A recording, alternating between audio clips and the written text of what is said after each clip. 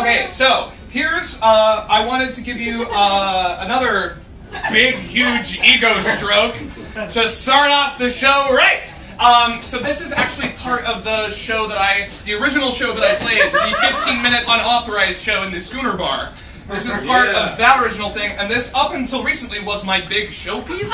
You might see why. It's from the last five years, written by Jason Robert Brown. It's called Moving Too Fast. Did I just hear an alarm start ringing? Did I see sirens go flying past? Though I don't know what tomorrow's bringing,